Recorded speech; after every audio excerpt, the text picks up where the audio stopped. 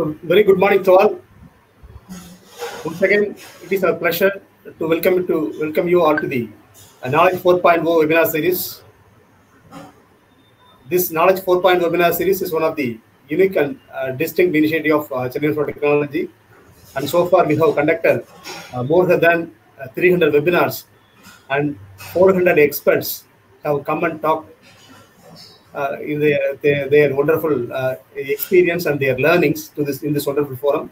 So we have uh, called eminent professors from academia, and researchers from research industry, from international and national universities and international national organization, and the consultants, those who are familiar in their field, have been called so far, and they are uh, providing their uh, wonderful experience in this forum.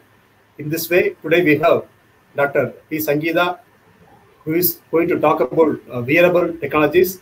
It is our great pleasure to welcome you to this wonderful forum, madam. Thank you. Thank you so much, sir. Thank you. And uh, Chennai of Technology was established in the year 2010 by our Honorable Chairman, Sri P. Sriram, who is one of the first generation successful entrepreneur, industrialist, and managing director of MK Group of Companies. This Knowledge 4.0 webinar series is being successful under the support of support of management of Chennai Technology and especially from our Honorable Chairman P. Sriram. And today our institute is being is at the top second position among all other private engineering colleges in Tamil Nadu. So it is my great pleasure to welcome you all the participants to this wonderful forum. And it is my great pleasure to introduce uh, Dr. V. Sangeetha uh, to this uh, wonderful this participant.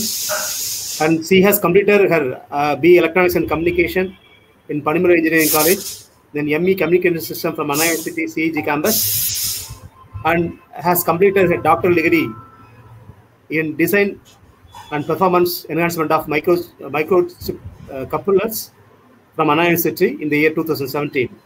She has started her career as, astro, as, as an astro professor in St. Joseph College Institute of Technology, Chennai. Then further, she, she is uh, being a consultant at Invicara India Private Limited, Chennai. So she has filed two Indian patents and she has published more than uh, 10 national international journals.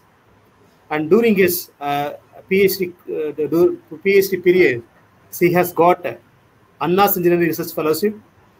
And her area area of interest includes microstrip components, antennas, RF and microwaves engineering, and Internet of Things. So it is our great pleasure to have you in this forum. And let me request you to share the session, madam. Sure. Thank you so much. Thank you for the introduction, sir, and thank you, thank you for the entire management, uh, principal, sir, and all of you for this opportunity. Uh, I hope I'm audible. Yes, ma'am. You can please. Okay. So I'll just uh, share my screen. Please. So let's quickly start with the session. So can you see the Yes, uh, full screen However, slide? You can, you can go out. If, if there is Okay. any interruption, I will interact with you. Sure. Okay. Okay. So, uh, good morning, one and all. So, I'm so happy to uh, share this topic. So, let's let's not talk much. Let's just quickly move on. So, as far as the topic is concerned, uh, it's beacons and wearable technology in IoT. Okay. So, there are three major terms in this. So, first is beacons, and then there's wearable technology, and then there's IoT. So, uh, of this, this will be our flow of the presentation. So, firstly, we'll see about IoT and then about the uh, beacon technology, and then about the wearable technology. And uh, moving on, we'll see how both together, when integrated, will uh, be applied in several uh, situations. And finally, uh, how this particular technology can help in mitigating the effects of COVID. Fine. So, uh, so let's first start with IoT. So, as we all know, IoT is Internet of Things. So, what thing are we talking about? So, it is literally anything. Okay, so it could be as small as a rat which has a biochip transponder to uh, an elephant to a human being who's having a heart monitor implant to uh, an automobile to a pillow anything and everything a smartphone a computer everything can be an iot can be a thing in the iot but it has to have two aspects. Firstly it should have a unique identifier. So that id should belong to only that thing and not to any other thing.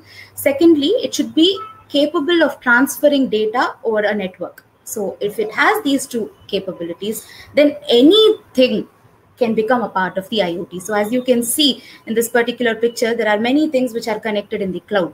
And uh, uh, over here, you can see that uh, all the things, they're not only part of one small place, it's across the globe. Okay, so uh, sitting at home sitting in india somebody can control their home which is in the united states of america. So they can get to know the temperature the humidity level and so many aspects of uh, that. So uh, these are all the advantages of iot. And industries they use this for enhancing the customer service and for improving their decision making capabilities. So we'll see about all this in the next slides. So uh, the important applications of iot. Uh, so first application is the smart home so uh, yes we are all aware of smart homes right? So uh, there can be an app and with that app we can uh, watch everything like the temperature the luminance the ventilation uh, even we can control the gas and everything uh, okay? The lock system security system everything. So uh, in industries IoT plays a very, very, very huge role. So there are there are lots of processes which happens in the industry.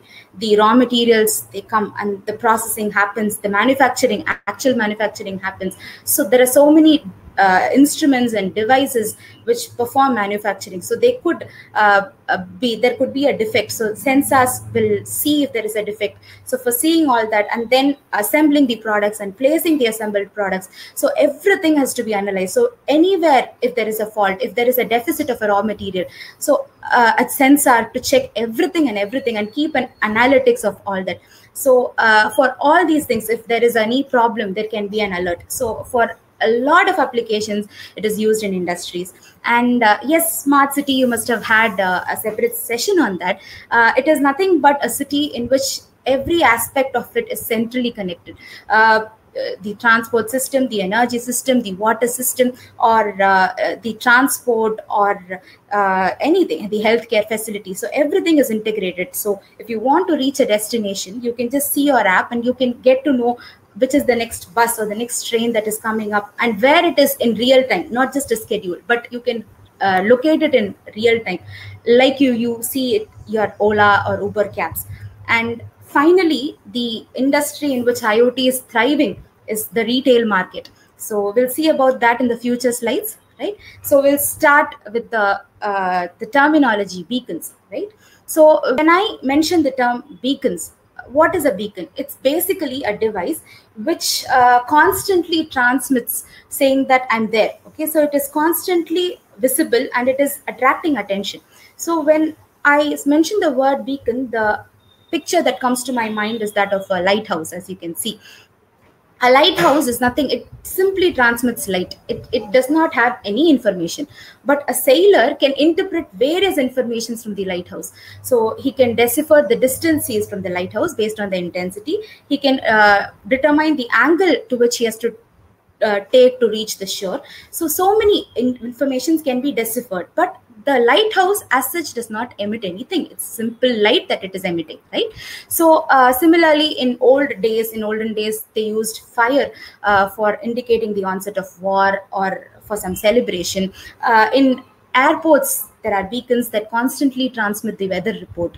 And there are handheld beacons and the wi-fi also has a beacon which constantly sends its identity. So uh, if you can see on your mobile phone you can constantly see the wi-fi connection that you're on.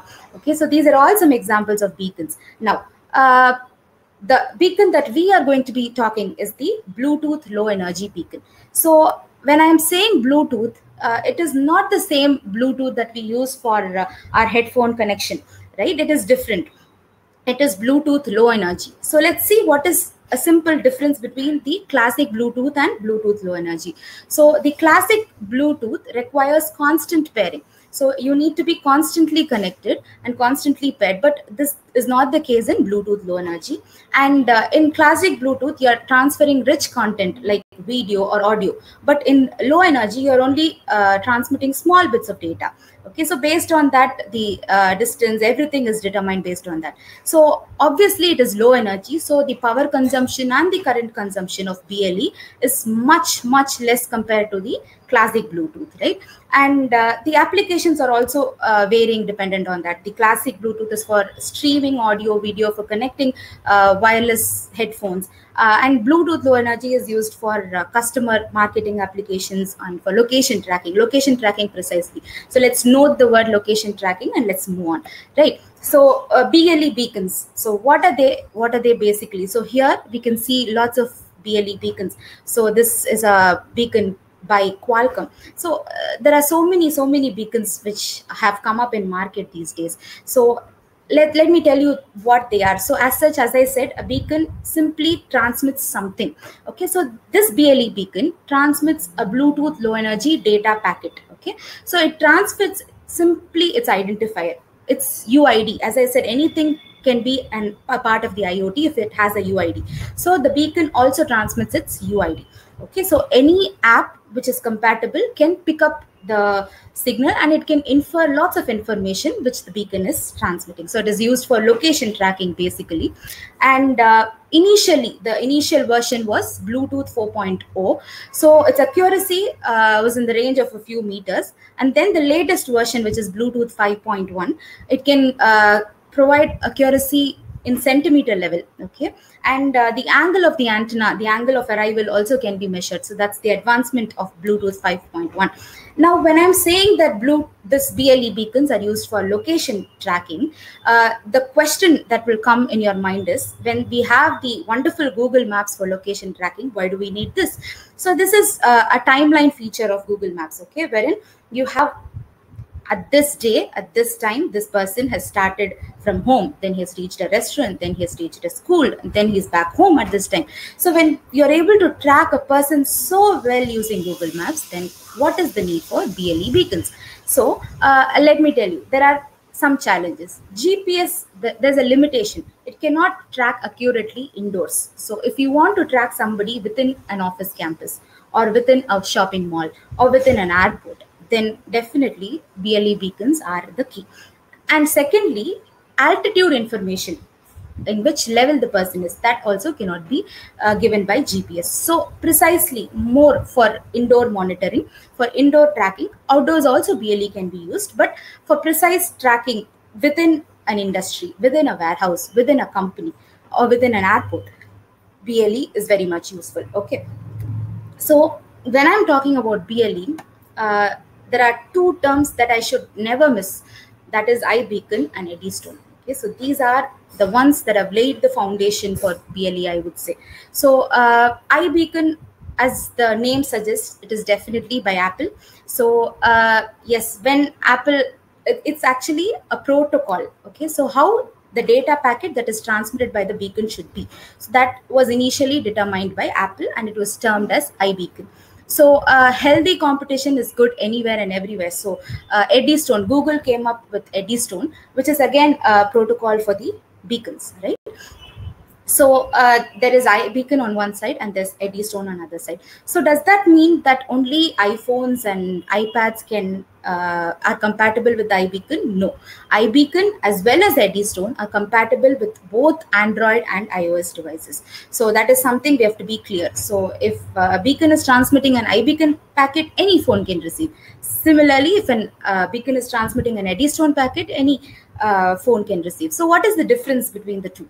Firstly, iBeacon is a proprietary software. So it is owned by, it's controlled by Apple. So its specifications and everything are controlled by Apple. Whereas Eddystone is open source. So it uh, gives some kind of a flexibility and freedom for software developers everywhere to customize the packet according to their needs. So supposing they want to transmit some extra sensor details, they can do that. They can modify the format accordingly, according to their needs. So that is the first basic difference. Second difference is iBeacon uh, transmits only one kind of a packet. So which is it's UUID. So UID is unique identifier. UUID is universal unique identifier. And then there's a major part in which certain uh, bits are transmitted and the minor part in which certain other bits are transmitted. This is the only one kind of a format uh, which is done by iBeacon.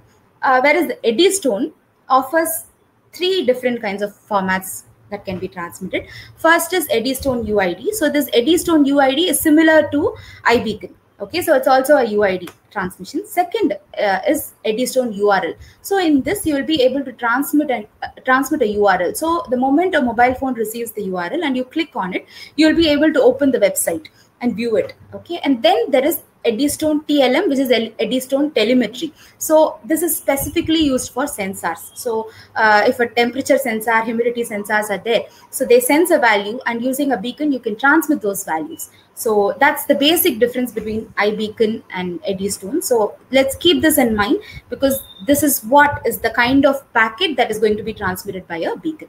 Now, so when I'm talking about beacons, what are they composed of? When you see on the outer, you can only see a casing. Okay, so you can just see a covering. So that is a casting, which is usually a silicone casting. And inside there's an ARM computer because beacons these days, they not only transmit, there's a lot of processing, there's a little bit of memory that is required. So there's an ARM computer that's needed. And there's a Bluetooth Smart. Bluetooth Smart is nothing but BLE. It's the other name for BLE. So a Bluetooth Smart connectivity module is there.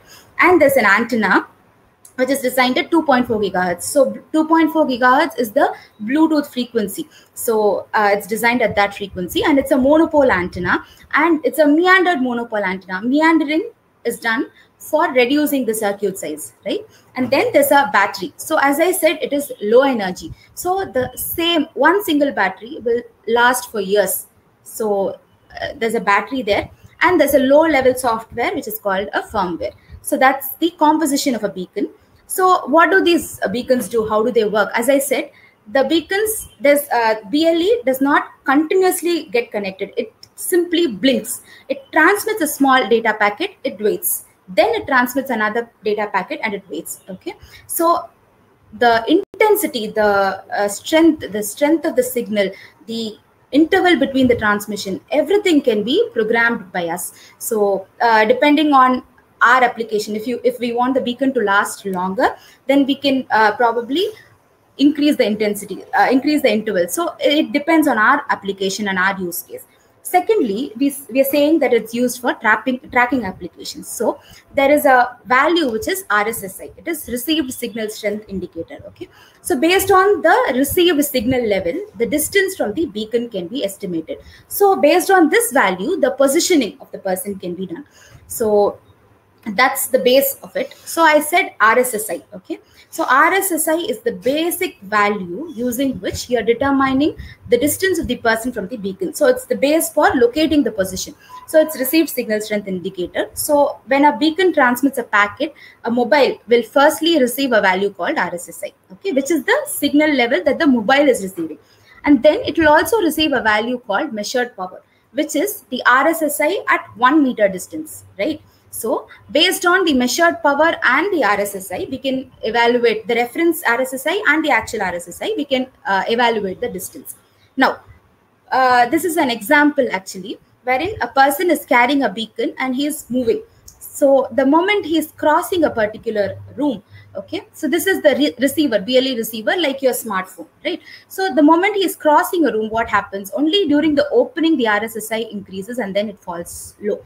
Now the person is entering a particular room. Over here when he is outside the rssi is low and then it goes on an increasing trend as he enters the room. Now when a person leaves a room the rssi is high and then as he leaves it goes low. So based on these values the entry exit event of a person to and from a room can be recorded. So this is about the RSSI. But with RSSI, we can estimate the distance from a beacon. Uh, say, for example, V1 is a beacon, right? And this dot, the central dot is the position of the mobile. Now, uh, when I estimate D1 alone, the uh, mobile or the person can be anywhere along the circle, right? So we basically need another beacon. So when we have another beacon, there are two points of intersection. Now, when we have the third beacon, there is only one single point of intersection, which will give the position, exact position of the person to centimeter precision. Now, there is a requirement of minimum three beacons to do this trilateration and to get the accurate position of the person. This is similar to the satellite communication principle, right? So here we can see three beacons uh, and there's a phone So the position can be estimated using three beacons, a minimum of three beacons if you want exact positioning. So uh, even this cannot, uh, uh, there will be some position jumps. So to avoid that, Kalman filters are used. So what do they do is they take up, they consider the history of measurements and uh, they evaluate. So uh, that will give a little more of accuracy. Fine, that's uh, that's about the beacon technology. So as we have seen, what are the advantages of it? Obviously, it's going to have a long battery life, so it's less expensive and there's not much of maintenance. You have to change the battery once in a few years. And uh, accuracy is high using uh, ble 5.1 and angle of arrival also can be measured. And uh, since you're not using any direct power supply you uh, there's hardly any risk in the usage. And what are the challenges? Firstly uh, some materials okay? So like metal and concrete it's it's an rf signal. So even human body can block the signal.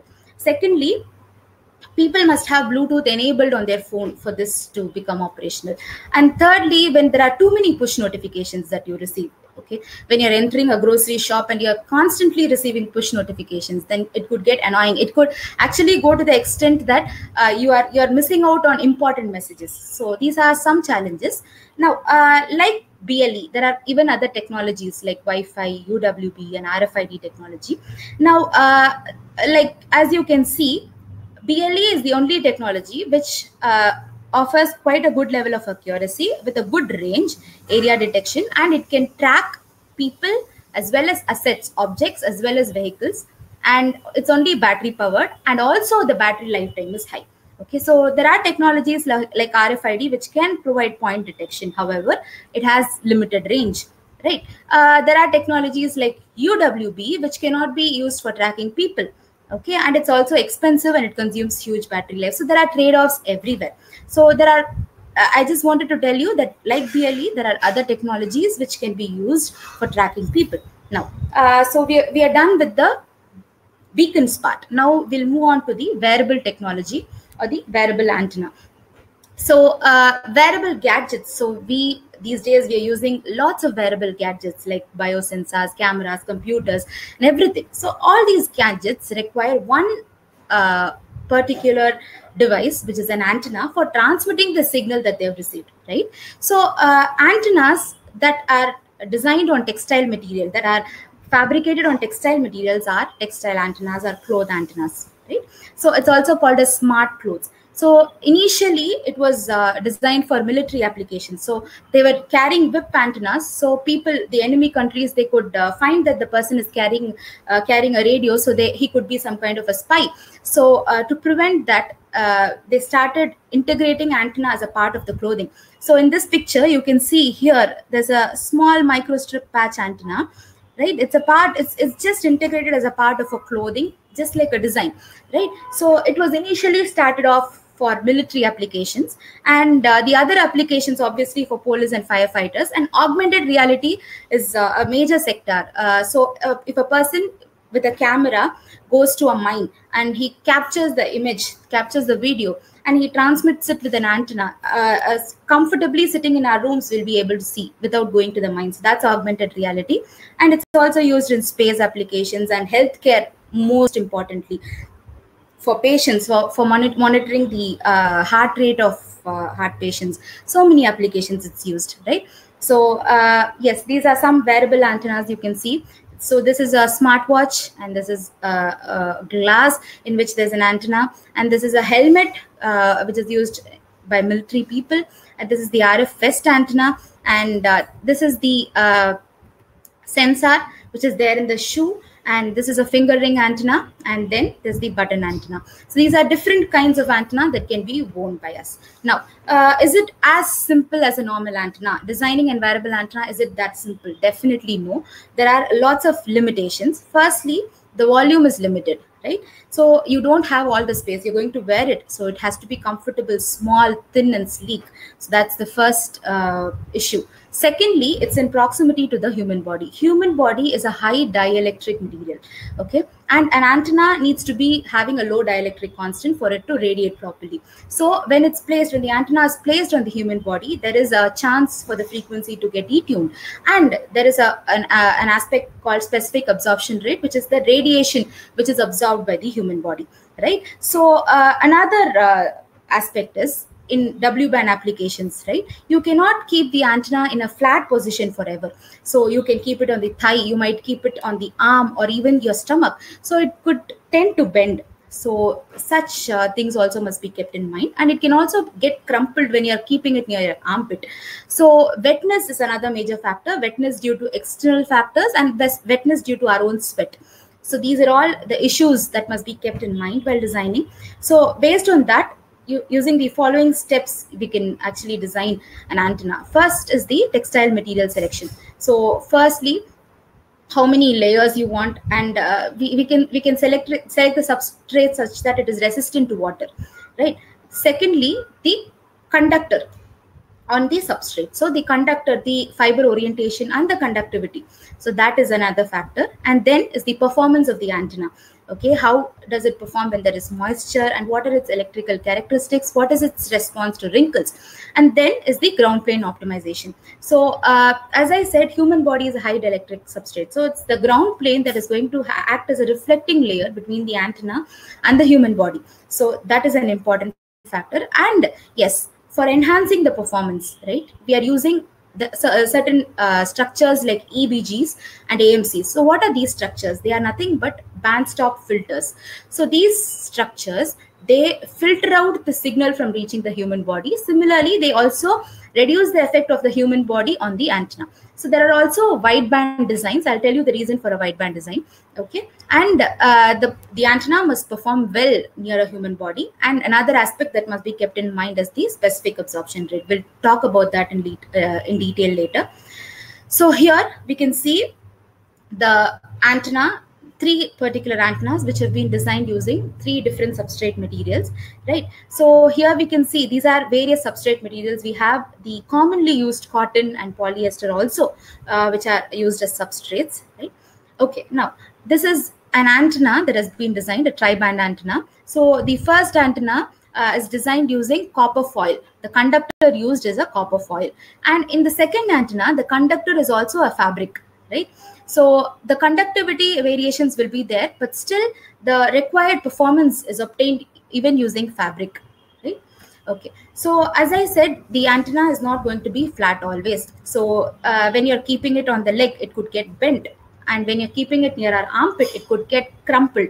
So this is the crumpling test. So when the antenna gets crumpled uh, along the YZ plane, what is the effect and when it's crumpled along the exit plane what is the effect there will be frequency detuning there will be attenuation so we'll have to design the antenna accordingly uh, we have to go in for wideband designs. This is the reason why we prefer wideband designs for uh, wearable antennas. Uh, say, for example, we are designing a Bluetooth antenna for 2.4 gigahertz, okay? And the frequency here, in this case itself, the frequency is getting detuned to somewhere near 3 gigahertz. Then what's the point? There's no point in designing the antenna. But if we are going to design an antenna that's going to operate from 1 to 4 gigahertz, then even if there is a frequency detuning, the antenna will very well perform at 2.4 gigahertz. So that's why we prefer wideband antenna designs for wearable antennas. Now, I said there is another important factor, which is the specific absorption rate. It is nothing but the uh, electromagnetic radiations which are absorbed by the human body. Okay, so its unit is watt per kilogram. So usually it's estimated over either the entire body or a particular part or a, a small sample like one gram or 10 gram.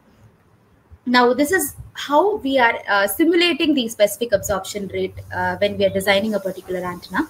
So here you can see it's a three layer human body model. It's a rectangular model. Similarly, we can have cylindrical models or we can exactly replicate a human body also.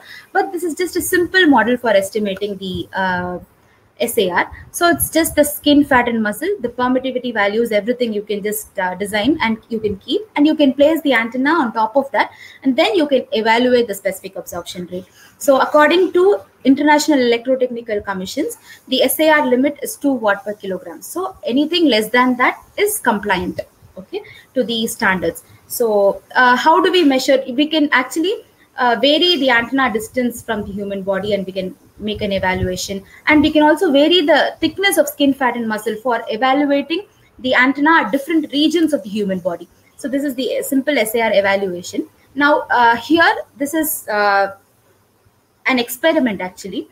Uh, this is a measurement that has been performed. As i said this is a bending measurement of the antenna and this is the on body measurement of the antenna okay? So uh, the sar which i had mentioned okay? So this is uh, the sar simulation uh, the output so you can see that when the antenna alone is used okay so you can see uh, a red part which indicates high intensity right? High intensity uh, of uh, radiations that are absorbed. Now that i had mentioned a word called ebgs and amcs they are band stop filters. So what do they do is they capture the radiations and they prevent it from being absorbed by the body. So when you are using those structures which is in the second case you can see that the intensity is not that high right so you can see that the radiations are spread out so the uh, radiations are not absorbed that much by the human body when you're using structures like AMC.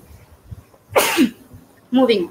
So uh, this is about the wearable antenna. The wearable antennas can be used. So let me show you the application aspects. Okay.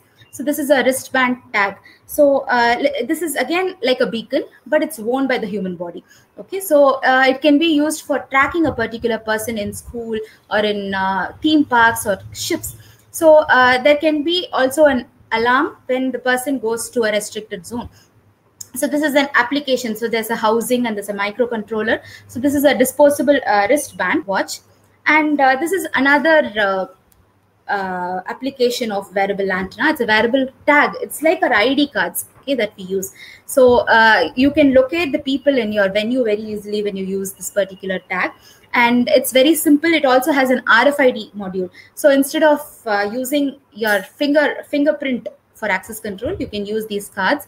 And uh, yes, and there's also a button. So when you press that button, what happens is you can call for a panic situation or you can call for uh, some medical emergency or things like that. So uh, yes this is the card tag which is a wearable device like a beacon and uh, it's used mostly uh, it's used in many countries these days. Okay. Now uh, so we've seen about beacons we've seen about wearable technology. Now we'll see how to combine them to uh, a particular server. Okay. So there is a device which is called as a gateway. It is literally a gateway between the ble beacons tags and the server or the cloud or the internet right so what it does is it has a ble module it has a wi-fi module okay using the ble module it scans 360 degree and it receives all the ble packets it receives the BLE packets and using the Wi-Fi module, it transmits them to the server. So this is the uh, function of the gateway. Now the gateway can also receive other uh, signals like Zigbee, Z-Wave, and other modules, right? So what are the details it collects? It collects the sensor data, the battery details of the beacons, and the location details. So, uh, so when people don't carry a smartphone, if you want to keep a track of people, of the objects, of the assets, okay, then we can use gateways. If you want to know the battery levels, if you want to know the sensor details, if you want to collect the information, if you want to locate people, then gateways are the answer for that. Uh, so this is about the hardware part. Okay. Now there is a protocol that's needed for doing this process. As I said, the gateway process, right? So what is the protocol? So there are lots of protocols like TCP, HTTP. So uh, the protocol which is specific for IoT applications, which is suitable for uh, IoT applications is this MQTT. It is message queuing telemetry transport. It's basically a low bandwidth protocol. So it's suitable for IoT applications and machine to machine communication. So it's basically like this. Uh, so we are all very familiar with YouTube, right? In YouTube, uh, when I'm owning a channel, and there are many people who have subscribed to my channel, right? Similarly, uh, there is a central person who's called as the MQTT broker. Okay, and all others are the clients, MQTT clients. So, so one MQTT client will publish a topic. Okay, so supposing he is publishing a topic called temperature. Now, all the clients who have subscribed to that topic called temperature, so whenever he's publishing a temperature value, say 70 degree Fahrenheit, all the clients who have subscribed to that topic will receive the value 70 degree fahrenheit. Okay so just like how uh, whenever we have subscribed to a youtube channel when they publish a video we receive the video immediately. We receive a bell notification. Similarly when a sensor publishes a topic a, a message in the topic all those who have subscribed to the topic will receive it. And this mqtt broker is the central person who will receive all the messages who will filter all the messages who will see who are all the subscribers to this particular message and he'll correctly transmit those messages to those people. So this is done by the mqtt broker. Now uh, based on all this i have just put a simple uh, diagram that will help you understand this. So this is a beacon right? So what is this beacon doing? It is transmitting data with a certain strength in all directions. So the the, the packet could be an ibeacon packet or it could be an eddystone packet right? And uh, any mobile uh, which is ios or android compatible can receive this, these packets. Now there's a mobile phone. The mobile phone needs to have three requirements. Firstly, it should have a Bluetooth connectivity, an internet connection, and a suitable Bluetooth app. Now, the moment it receives a big uh, packet, BLE packet, the app will be launched. Okay, and there's the cloud. Now, it will ask the cloud. It, it has just received a simple packet which has numbers, so it, it is it does not understand. So the app is asking the cloud for what it has to do. So the packet goes to the cloud the cloud does all the processing and it also interacts with other servers and other systems and it returns what it has to do and then app performs the activity whatever it has to perform. Say it, it will uh, get a message or it will uh, get an alarm or it will get uh, get a particular uh, link or whatever okay? Sometimes the uh, app also interacts with various other servers. So all these actions so many actions take place almost instantly. So this is a simple data packet, BLE data packet processing. Uh, so yes, now we'll move on. Now it's all about the application. So how, where and all uh, are these packets applied? So uh, firstly, as I said, it's used for location tracking. So the first is a hospital environment, right? So you can see that uh, there is a particular device. So uh, it's having a sensor. So the value, the sensor value is updated by the BLE and whenever there is some error in the device okay the person will get an intimation. The service person will get a notification that this, that something is wrong in this device. So he will also get the uh, direction for that particular location. So it makes things simplified. Now here is another example. This is an office environment okay? So uh, here uh, conference rooms are always a big problem in offices. So uh, this person is updating this uh, the conference room is vacant and anybody who has a dem uh, demand can immediately go for it. And uh, here is a location tracking. So if you want to go to a particular office particular to meet a particular person it will direct you very correctly okay so th this is how it's used in the office environment. So everybody who has either a tag or a mobile phone or an, a laptop with the location is properly located right? So uh, using the employee apps what happens. If you want to immediately track where your colleague is you can track. And you can uh, if a new person who's visiting the office has to meet a person it's very beautifully done. The moment he enters the car parking he will be uh, receiving a visiting card and he, he will be receiving a direction uh, as to how he has to go to that particular office. So everything is made easy. And uh, uh, and it helps the management in a lot of ways so uh, the management will have a view of uh, the location where a person is. And location based push notifications can be given. Suppose a person is near a lab they can just tell him you can finish this work and come back. So instead of sending another person to that particular location the same person can be made to do uh, based on his location. So uh, there are lots of applications of uh, this employee apps and personal tracking so uh, for uh, starting from access control to location based push notifications, it, it's very efficiently used in office buildings. And as I said, in retail, it's used very highly. So you, you, you must have received lots of notifications on your mobile phone regarding a discount or an offer. So this is very personalized, this beacon technologies. So here in the first image, you can see a person standing nearby a particular uh, part in the uh, in the departmental store and there's a beacon okay so the beacon is emitting a message to the phone so uh, the moment the BLE packet is received by the phone, the corresponding app is launched as we saw in the uh, animated diagram. So the app is launched and then it immediately asks the server as to what it has to do. So uh, and the server, the person who is operating that, he will have an entire picture based on the foot traffic he will have a rich profile of you. How many times you have received, uh, you visited this departmental store how many times have you visited this portion of the uh, departmental store and and which product you are most interested. So based on that he will give you a customized discount. Say for this product you'll receive a discount of 20% so it is more personalized. So he knows you he knows your pattern. So uh, this is the kind of uh, way in which the retail is helping the customers. And in this way the the store is also benefited. Uh, the management they'll be able to see based on the foot traffic information uh, the region or the part where people are most visiting. So it is this product which has higher demand. So they will probably increase the purchase of that particular product or if some portion some zone is not visited. They'll see uh, how can they market that product? How can they make people uh, come towards that particular product? So in, in a various ways in a variety of ways they can make better decisions based on this technology. And it's also widely used in a lot of countries.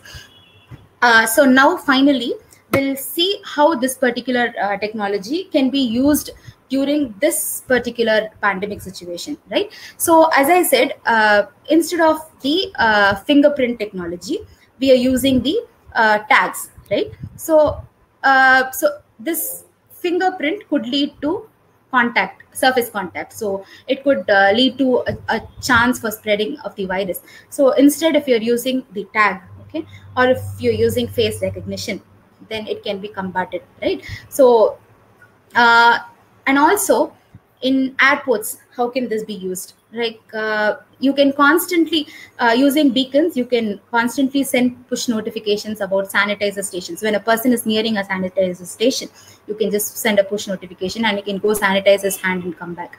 Uh, or when there's a restroom you can get a push notification you can go uh, wash and come back. So uh, similarly we can avoid using touch screen kiosks as in uh, if we are using a touch screen in a mall or in an airport then you'll have to go to that particular location touch and many people will be using that as such right? So instead of that uh, if the same information is available on your own mobile it will uh, reduce surface contact right? So these are all the different ways in which uh, this particular technology can be used. So now we saw all the general ways. Now I'll just show you a particular system, okay, a particular method using which uh, uh, contact tracing can be done as well as uh, disinfection can be done, right? So uh, like uh, usually in companies, right, uh, there are certain industries, there are certain sectors where people cannot afford to work from home so there is the food processing industry there is the pharmaceutical industry then uh, there is the water uh, uh, system there's the electricity system wherein people have to go back to workplace. So in this kind of a situation uh, if if one person or if a few of them get infected then should the entire plant be locked down? Should the entire entire industry be locked down? Should everybody be made to stay at home? It's not actually possible. So uh, it's for these reasons that these kind of systems have been implemented. So it's uh, so as i said uh, this system is going to have both the wearable technology as well as the beacon technology. So together, uh, they're going to be used for combating the effect of the pandemic. Okay, so this is these are all the wearable devices like the wearable tags, right? So they are programmable devices. You can program various aspects, and they have an LTE module. Okay, and what do they do? They are also beacons. So they transmit their identity. They transmit their UID continuously. They also scan for signals from other devices. So these are all the uh, aspects of that particular wearable device. Now, suppose th this is how the people are interacting. So let's assume these four people are wearing this wearable device. Okay. Now, uh, suppose these two people are coming close. Okay, they're reducing the social distancing. They're breaking the social distancing norms. They're coming uh, closer uh, than one meter. Okay then in that case what happens? A light starts uh, blinking and there is also an alarm sound which is cautioning them to maintain social distancing right? Okay now what happens is this particular device this particular wearable device will receive uh, the beacon packets from the other devices uh, with whom it has been in contact. It will store in it in its memory. And there's also the central server okay central database and dashboard. So it will collect those inputs and it will send it across to the secure dashboard okay? So it will send it will push all those information to the secure dashboard. Now every all the information that it is collected it is now in the secure da- database it is safe it is stored and it is also anonymized. Uh, this is to ensure the privacy of the people. So uh, you anybody and everybody cannot go and tamper. So there's only one person who's authorized to access that. He could be a risk manager. So only he can go and authorize and see who has been in contact with whom. So such information are very very personalized right? Okay. Now following this what happens is now uh, okay suppose this person who's wearing this particular tag uh, he is developing some symptoms okay and he's at his home and he has developed some symptoms. So immediately he is pressing the push button. So the moment he presses the push button what happens is using it goes to the cellular network and through the this is why this is where the lte comes in use. So it is updated in the central dashboard in the secure dashboard it is updated that this particular person has developed symptoms. So please caution the people who have been in contact with this person. So the risk manager who is operating this he simply presses a button. so the moment he presses this particular button a notification is sent to all the employees who have been in close contact with this person. So in this case there are only these two people who have been in contact. So this is just a small example. There are so many people uh, people who are working in an office. So it's just a small miniature okay? So these two people have been in contact. So a notification is sent to them. So they uh, get a blink on their device optionally they also get uh, an, a message on their phone which directs them to do the next series of steps. Say go isolate yourself for 14 days or go have a checkup from the doctor or whatever it is. So they will get the next series of steps. Now uh, so this is for contact tracing. Okay so instead of manually asking who all have you been in contact with? It's not uh, possible right? So it's, it's not humanly possible. So instead of that this technology using this technology we can get to know who all has been in contact. And those people alone can be isolated. Instead of isolating hundreds and thousands of people who have not been in contact just the 20 30 who have been in contact alone can be isolated. Now uh, this is for contact tracing. Now as far as the disinfection part okay I said every room will be having a beacon, a proximity beacon. Okay. So this particular wearable device, it will not only receive the inputs from other wearable devices, it will also receive inputs from the uh, beacons which are there in the rooms, right? So it is receiving this uh, particular token. Okay. So the moment it receives the packet, again, it transmits it to the server. Fine. The location details are trans transmitted. So the server gets updated that this person A has been to conference room, has he has been to classroom A, he has been to the lab room, he has been to these places. So that updation comes to the secure database. Okay. So the moment when he pushes, when the push button is pressed, what happens? This is the region. So uh, there will be a map of the entire office space. So the region where he has been alone will be highlighted. So only those regions can be uh, given for disinfection. So instead of uh, disinfecting the entire office space, only those specific regions can be marked and it can be given for disinfection, right? So uh, this is how we're using the technology for uh, even this particular crisis right uh, in this particular critical situation wherein uh, it could lead to a mass shutdown it could uh, lead to everybody going back to their homes. So this can be prevented in this way.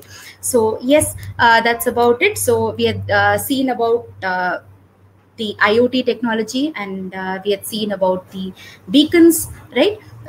We had seen about wearable technology and we had seen how beacons and wearable technology are being applied in the office space in hospitals and most importantly in retail and uh, and apart from that how this particular technology can be used now in these days uh, during this critical pandemic situation to uh, reduce the effects of further transmission.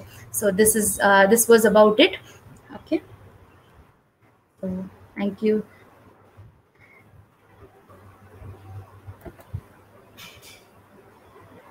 Ma'am, thank you. Thank you, thank you, sir. Thank you so much for your uh, nice presentation. Thank you, sir. Thank you so much. Yeah, Yeah. Just uh, There are uh, let me uh, look into the uh, chat box for any questions. Sure. Yeah. Ma'am, can you explain about the location tracking once again? Sure. Uh, yeah. Uh, okay. So uh, I'll just explain it like that, right? So uh, there are, uh, so there is a beacon and there is a smartphone, right? So the moment uh, the beacon transmits a particular packet, the smartphone receives a value called RSSI. So there is a reference RSSI and there is also the actual RSSI. So based on these two values using a formula, we can calculate the distance. So distance from that particular beacon can be estimated, right? Similarly, uh, we know the concept of trilateration, like in satellites. So when three beacons are there, when three beacons are deployed, so there will be three circles and there will be one point of collision for the three. So that will be the exact position of that particular person. So this is the technology that is that has been used for tracking. So for tracking the accurate position of the person. Thank you. Thank you, ma'am. And uh, Ms., uh, I think uh, Deepak Shukla asked one question. Yeah. Uh, uh, is it basically used uh, only for IoT based upon sensor technology or beacons or sensor? So I think questions are not clear. Questions Yeah. not clear, I think so. And she wants to ask, uh, she or he wants to ask, uh, is basically used only for IoT based upon sensor technology or beacons or sensor.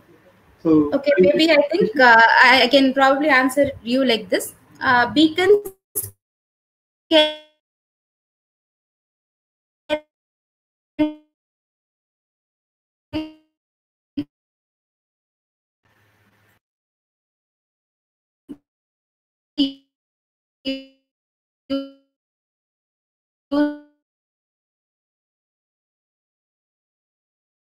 mobility sensor, motion sensors. So what these sensors do is they collect those values and in Eddystone there is an option called TLM, Eddystone telemetry.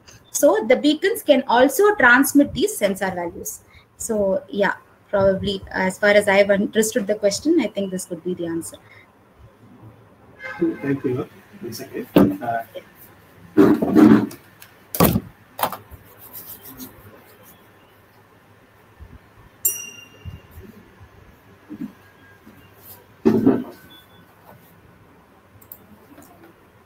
Ma'am, thank you, thank you so much for your uh, timing, and uh, Thank you. so it is our great pleasure to hear from you. Thank you. Thank you so uh, much, sir. So uh, all the best for your uh, future research, and I think uh, you have done uh, uh, the wearable Thank technology is one of the so uh, area which is uh, going to rule the world in the forthcoming years. So Yes, sir. uh, we wish you a lot for you to come up with a new technology which is uh, which will be highly useful to the uh, our society and world. Thank Sure, you so much. sure, ma'am. Sure. Thank you. Thank you so much. Thank you. Thank you. Uh, thank you. Thank you. Uh, tomorrow's meeting. Thank you.